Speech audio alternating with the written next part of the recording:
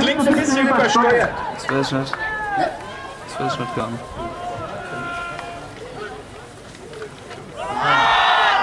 Ah!